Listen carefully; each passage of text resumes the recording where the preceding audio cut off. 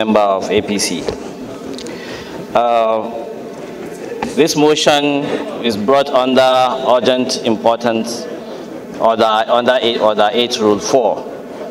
I want to seek oh, order 8 rule, rule 4. Rule 5, oh, order 8 rule 5 and I want the leave of the House to allow me take this all-important motion, which is the need to stop the issuance of airstrip license to private individuals and organizations in the country as a matter of national security concern. I so move, Mr. Speaker. Kankara Sabuwa, I'm from Katsina State. I rise to second the motion, first leg of the motion, ably moved by my brother, Honorable Sleban Gumi, the brand new APC member. I so Order, please. second, Order. Mr. Speaker. Order, please. Sub Rule 2, and I wish to read. A matter of urgent public importance shall, emphasis on the word shall, seek to address any of the following. Immediate threats to lives and properties. If the matter is allowed to persist and not addressed immediately, it may lead to breakdown of law and order, cause serious damage to or total destruction of federal government owned or controlled infrastructure, a national monument, or a World Heritage Center. Three, any matter considered to be urgent by the Speaker. Mr. Speaker, the issues raised, any other matter considered by the Speaker. I'm not shying away from that. Mr. Speaker, my dear colleagues, the, the issue raised by our colleague is very germane. It's necessary, it's important. But the other question is, is it urgent as to come under Order 8, Rule 5? And I think that we actually need to consider this issue so that we take only matters that are urgent and in compliance with our rules under this order. We have motion on notice, we have other means of bringing these matters before the parliament. But to observe that we are overloading order 8 rule 5, I would therefore pray that my learned colleague should put us on notice so that we will also have the opportunity of reading through his arguments and then prepare ourselves to respond to this motion. This motion does not fall under that order, sir. Thank you. Thank you have read.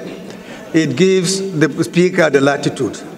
And I'm sure we have been taking similar kind of uh, motions in the past that are not too urgent, but uh, uh, with the discretion of the speaker, once in a while we do that.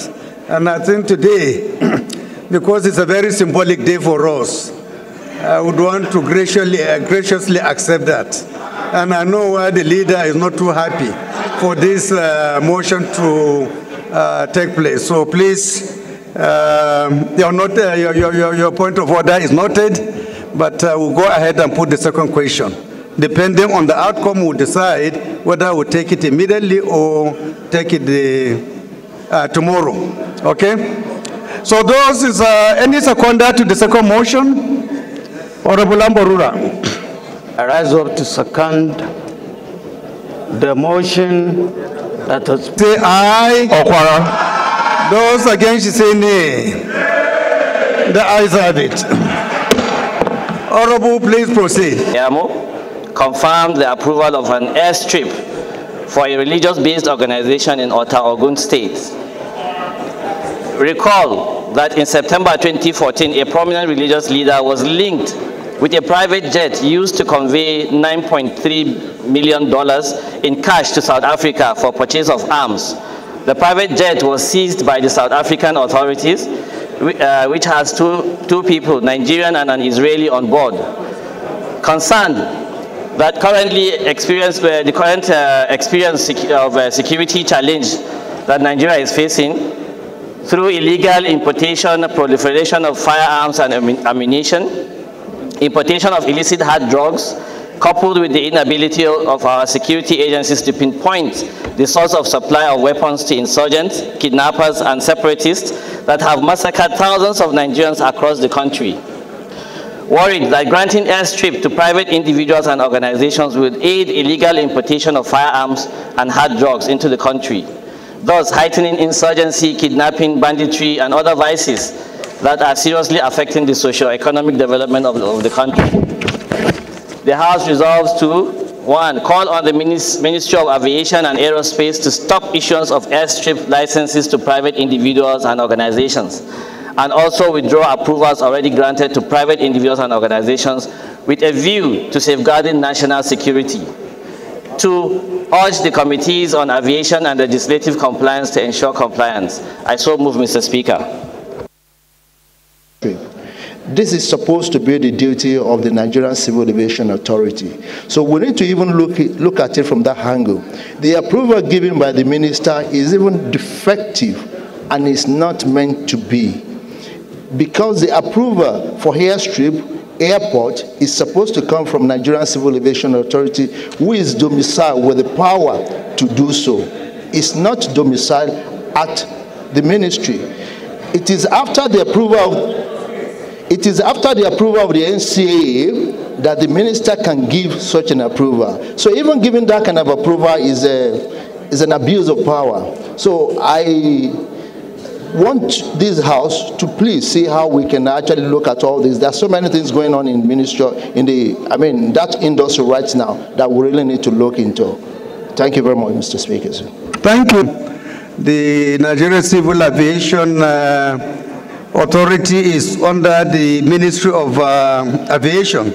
So by implication, we, I want to believe perhaps the minister has uh, done the due diligence by accepting all the, I mean collecting all the necessary approvals before he made the announcement. But however, since the resolution of this motion or the prayer is to order the Committee on Aviation to investigate on this matter, I think uh, they can also take note of that particular aspect to ensure that in the first place, whether due process has been followed or not. So I think we can take a seconder to the motion, or have we done so? Uh, Honorable Nnamdi, in support of this motion, you say aye. Those against, you say nay. The ayes have it. This motion is referred to the Committee on uh, Aviation for further legislative action establishment of Federal College of Health Sciences, Gaya, Kano State, and for related matters, HB 31, and a bill act to amend the Federal Medical Centers Act and establish Federal Medical Center Ikole Ekiti, Ekiti State, related matters, HB 1037, and finally, a bill for an act to amend the Agricultural Research Council Act, CAP A, laws of the Federation of Nigeria 2024 to make provisions for the establishment of Federal College of Agricultural Technology,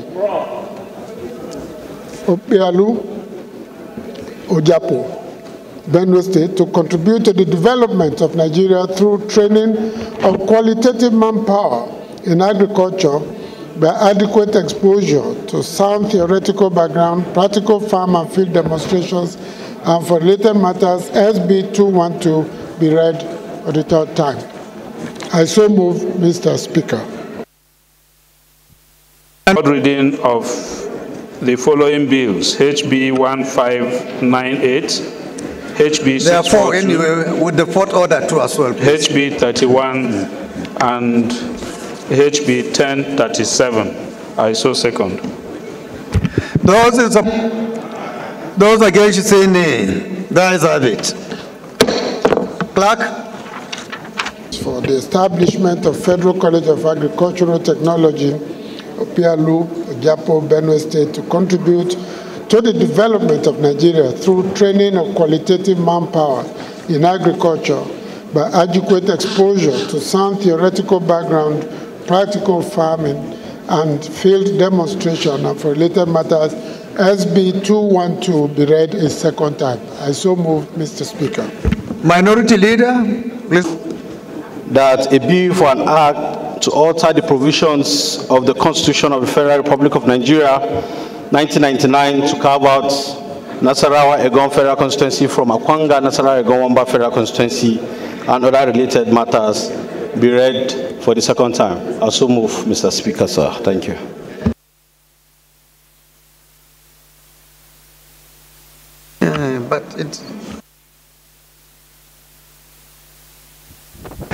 Any seconder The chairman of the Committee of Deputies, Honorable Leko. People of Ughelli North, Ughelli South, and Udu, I am from Delta State. I rise to move the motion for reconsideration of outstanding bills from preceding assembly.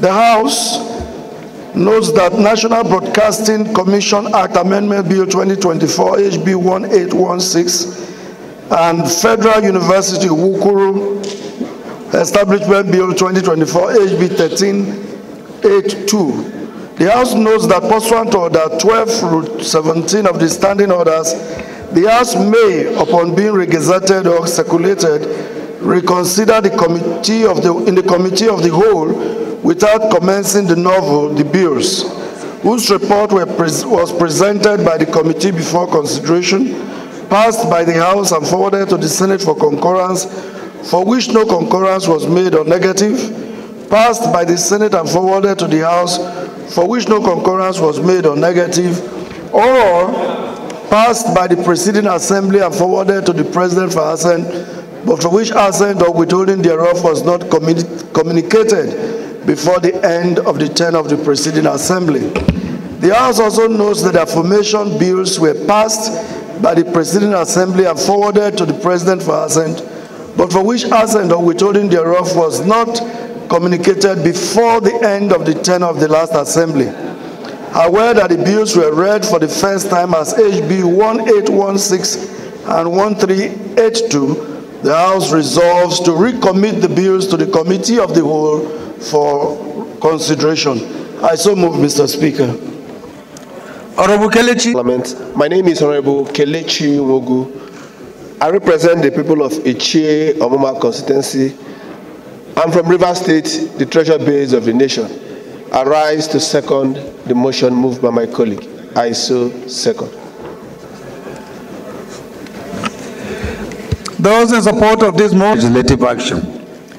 The 12th order of the day is a motion on the need to address flooding and gully erosion, devastating communities in Birnin Kebbi, Kalgo, Bunza Federal Constituency.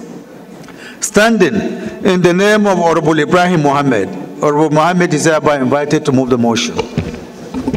Thank you, Mr. Speaker. Honorable colleagues, I'm from Kebbi State. I rise to move a motion on the need to address flooding and gully erosion devastating communities in Birnin Kebbi Kalgo Bunza Federal Constituency.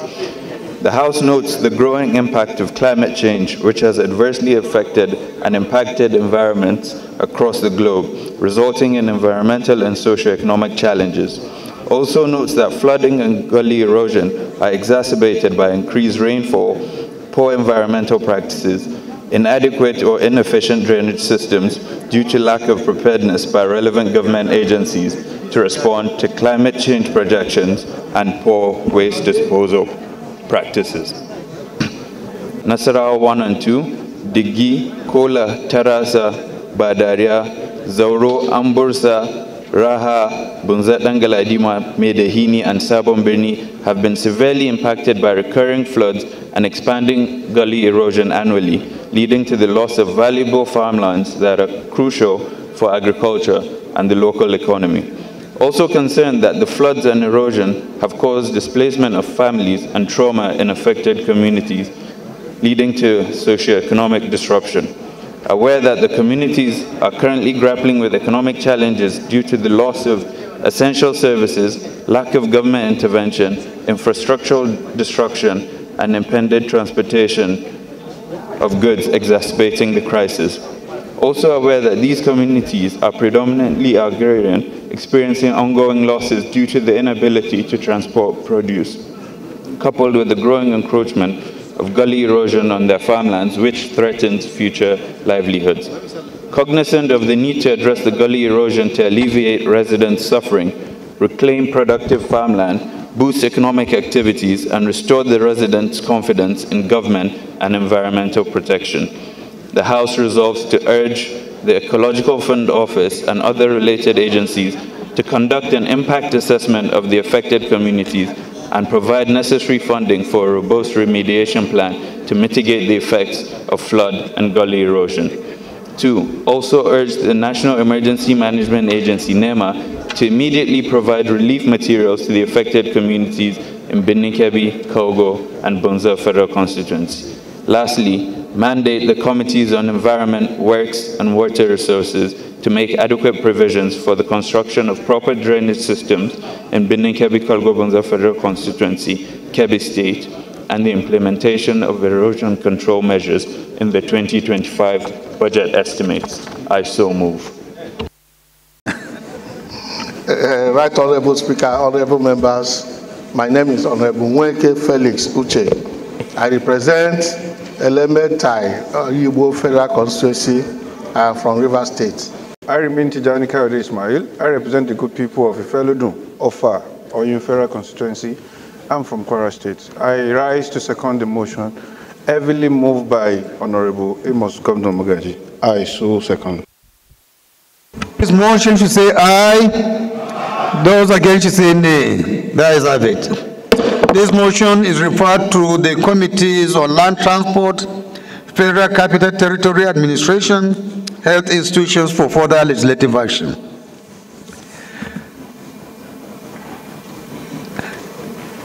The 14th order of the day is a motion on the need to address the secretive employment in the Federal Civil Service, standing in the name of Honorable Kola Ole Davison Akinlayo.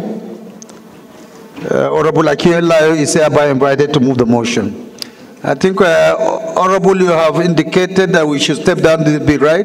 Yes, sir. Yes, sir. Yes, sir. This bill is stepped down by the leave of the House. Thank you, sir. The 15th order of the day. Enugu East, issues of federal constituency from Enugu State. Mr. Speaker,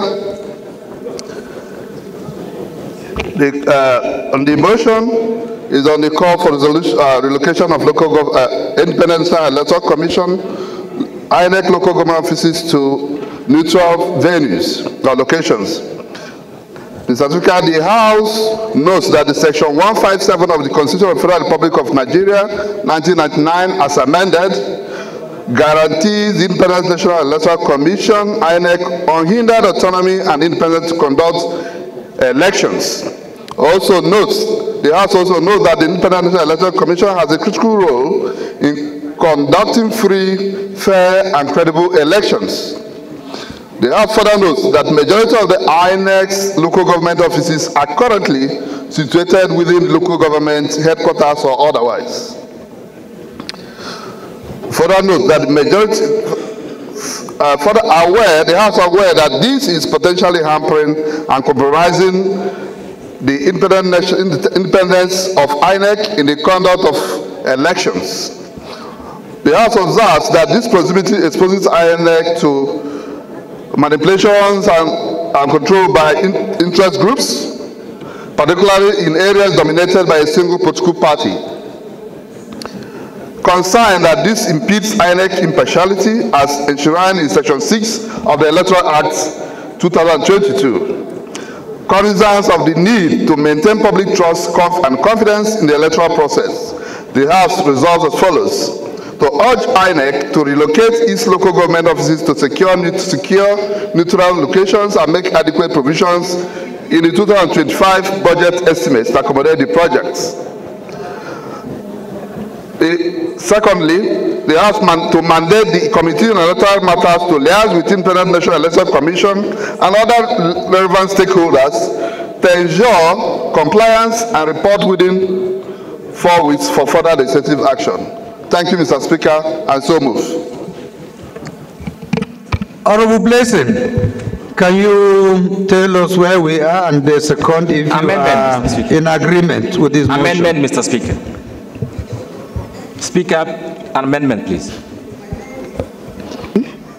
Thank you very much, Mr. Speaker. My name is Blessing Onyeche Onu, and I reprise to second this very important motion. Which is the motion? What, what motion is that? They call, they call for relocation of Independence National Electoral Commission. I so second. Thank you, Mr. Speaker. Those in support of this motion should say aye. This motion is uh, referred to the Committee on Electoral Matters for further legislative action. The 16th order of the day is a motion on funding of exploration for data in the solid mineral space to unlock mineral deposits and enhance foreign exchange earnings. Standing in the name of Honorable Ojo Sunday Makanjuola, Honorable Ojo is hereby invited to move the motion. Thank you, Honorable Sunday Makanjuola, Honorable representing Ogo Oluwa, Surulere Federal Constituency, and from Oyo State. The House notes, um, I stand this afternoon to make a motion funding of exploration of data in the solid mineral space to unlock mineral deposits and enhance foreign exchange earning. The House notes that Nigeria is going through a difficult economy for us with dwindling foreign exchange, inflow of negative effects on Naira, Naira strength, as it was described in recent times as one of the worst performing in Africa alongside Ethiopia also note that Nigeria has been a mono economy with high dependency, dependency on oil and gas. Now with, an, with the energy transition and departure from the use of fossil fuel, the country may begin to experience a decline in revenue from the sector. Further note that Nigeria National Petroleum Corporation Limited estimated $400 million on frontier exploration annually in Nigeria and in Nigeria and in 2021. NNPC spent 20 billion naira in seven months on frontier exploration alone. Aware that Nigeria is blessed with abundant resources and that during the colonial era and pre-independence period, Nigerian main income was solid minerals. The KPMG, Nigeria Mining Sector Brief, on June 2024, listed the potential of a number of minerals as follows. One, coal has a reserve estimate of about 2.73 billion metric tons and proven reserve of 639 million tons. Two, bitumen has an estimated 42, 47 billion tons. Three, barite has an estimated 23 million metric tons. Four, lead zinc have been observed along a belt of approximately 30 to 50 kilometer wide stretching for about 560 kilometer in length from Ebonyi State through Benue, Bauchi, Adamawa, Taraba, Nasarawa, and Plateau State. Four, limestone, estimated reserve of 10.6 billion tons across, of, across 14 states. Six, iron has an estimated reserve of about 3 billion tons. Seven, gold has estimated reserve of about 21.37 metric tons valued at $1 billion at, as at second quarter of 2023.